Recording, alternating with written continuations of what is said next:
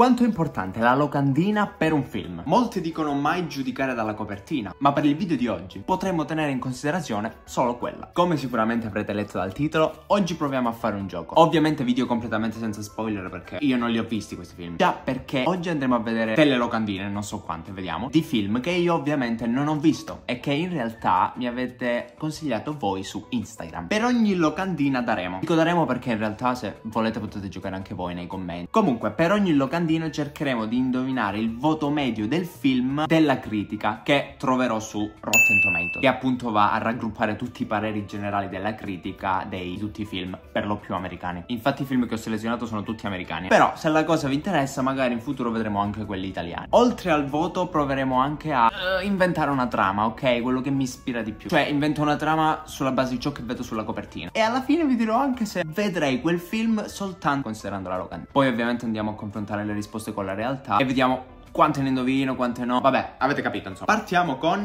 Bloodshot. Allora, Bloodshot con Vin Diesel mi pare di leggere in basso tratto dal famoso comic book ovvero da un fumetto cui io ovviamente non conoscevo l'esistenza diciamo la verità già il fatto che sia tratto da un fumetto non promette bene eh? e in genere non sempre, ma in genere la roba tratta dai fumetti fa abbastanza schifo. Vabbè, ma voi direte devi basarti solo sulla locandina, che c'entra il fatto che, oh, c'è scritto sulla locandina che tratta un fumetto, quindi perciò lo considererò come. A questo punto aggiungiamo anche il fatto che c'è Vin Diesel, fa solo film in cui può mostrare i muscoli, e che i produttori tra l'altro sono quelli di Fast and Furious, quindi probabilmente si tratta di uno di quei film con scenatazioni spettacolari, sangue, probabilmente una CGI di merda, ma posso anche sbagliarmi. Parliamo della trama. Ci sono tre tizi con delle pistole, un braccio meccanico e anche la caption che leggo La vendetta scorre nelle sue vene. Perciò Vin Diesel potrebbe anche essere una persona qualunque, a cui però viene ucciso qualcuno, magari un membro della famiglia, perché sennò la vendetta non avrebbe senso. E a quel punto inizia ad andare in giro e a uccidere tutti i responsabili. Mi rendo conto che questa è sostanzialmente la trama di John Wick, ma è l'unica cosa che mi è venuta in mente, davvero. Quei due saranno, boh, amici, non lo so, forse neanche sono i cattivi. Lo vedrei dalla locandina locandina? Uh, sinceramente no. Voto. Secondo me è una cagata. Perciò vi dico voto 15%. Trama reale di Bloodshot. Dopo essere stato ucciso insieme alla moglie, un soldato viene resuscitato da una squadra di scienziati potenziato con la monotecnica. Allora, ok, ok, effettivamente una cagata. Però abbiamo beccato il fatto della la moglie morta. Non mi aspettavo il fatto che venisse resuscitato. Andiamo a vedere il voto che è meglio. 31% è il doppio rispetto alla mia risposta. Comunque non ci siamo, cioè 31% è veramente, veramente basso. Ma perché mi sono messo qua? Sto schiattando di caldo. Non così vicino. Protagonista Tom Hanks. E qui, al contrario di ciò che abbiamo detto prima, se c'è Tom Hanks probabilmente è un film da vedere. Lo stile della locandina mi piace. A parte il gatto inserito qua in maniera terribile con Photoshop, cioè si vede proprio che è photoshoppato malissimo là. Allora, trama. Tom Hanks sembra essere abbastanza arrabbiato e più in alto c'è chiaramente scritto voi lo amerete, lui vi odierà. Perciò credo sia un personaggio non molto amorevole nei confronti degli altri. Comunque ci sono due case, una di fronte all'altra e in entrambe mi sembra di vedere eh, due cartelli, vietato animali o cani nello specifico. Il gatto tra l'altro ha lo stesso sguardo di odio di Tom Hanks, potrebbe essere il suo. Andrei più sul vietato cani. Ipoteticamente quindi queste due case potrebbero essere di due vicini, uno dei quali è appunto Tom Hanks, appunto non andrà molto d'accordo con i vicini della casa di fronte, che magari avranno pure un cane. E, poi boh, Tom Hanks capirà l'importanza dell'amicizia e tutti felici e contenti. Lo vedrei dalla locandina, in realtà sì, voto, secondo me è bello, 70%. Via. Quando una giovane e vivace famiglia si trasferisce nella casa accanto, lo scorbutico vedovo Otto Anderson si ritrova a stringere un'improbabile amicizia che sconvolge il suo mondo. Vabbè, la prima parte la gara, la seconda parte no. 70%, oddio!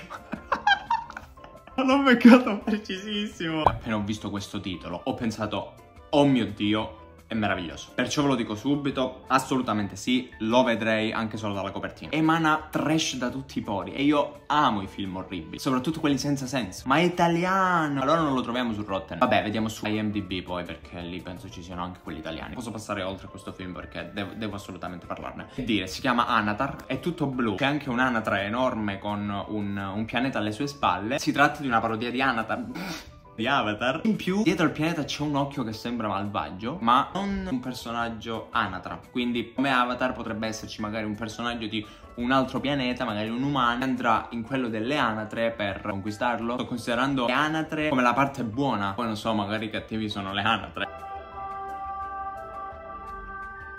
Su IMDb mi pare che i voti siano da 0 a 10 Io direi, oh, raga, sinceramente, mi sa di 2 Per essere generoso, eh. Ed è per questo motivo che lo vedrei. Un popolo spaziale di anatre umanoidi Gli Anatar È alla ricerca di un nuovo pianeta da abitare Dopo che il proprio, Anat, ha esaurito le risorse il comandante Dark Fa Feder, oh mio dio, ma è anche Star Wars, ma il piccolo pianeta di Pandoro è anche meglio di quanto mi aspettassi. Andatevelo a vedere immediatamente. 3,8 su 10, sto vedendo immagini del trailer, fa veramente paura. Marry me! Allora, io capisco l'esigenza di dover parlare ad un pubblico italiano, ma che senso ha mettere come sottotitolo la traduzione del titolo originale? A questo punto chiamatelo direttamente Sposami, non Sposami, Sposami, questo è un problema mio miei. Jennifer Lopez, Owen Wilson e Mal... Mal... Malou? Ma non è un cantante Maluma. È un cantante Maluma. Vabbè, anche Jennifer Lopez in realtà è un cantante. Non lo so, vabbè. Eh, due cantanti, partiamo male. Allora, Owen Wilson, appunto, mi piace. Jennifer Lopez Insomma, Luma non sapevo nemmeno che recitasse. Comunque, cerchiamo di capire la trama dal, dalla locandina. Jennifer Lopez e Maluma in concerto. Sono probabilmente i due famosi della situazione. Dalla posa mi sembra siano fidanzati, che siano pronti per sposarsi. Ma all'improvviso, ecco l'uomo qualunque, Owen Wilson. Forse l'organizzatore del matrimonio, magari quello che gestisce il ristorante, il manager di Jennifer Lopez. Comunque è palese che alla fine Owen Wilson e Jennifer Lopez si innamorano e Maluma la prende in quel posto. Non avete comunque idea di quanto sia fatta male questa locandina. Cioè, sembrano veramente attaccati con lo sputo in un green screen malissimo. Questo è un Photoshop fatto veramente male, peggio del gatto di prima. Comunque, lo vedrei dalla locandina? No. Voto. Dalla locandina mi sembra un filmetto della domenica pomeriggio su canale 5, capite cosa intendo? 30%. Una stella del pop scopre che il suo fidanzato la tradisce poco prima del suo grande matrimonio.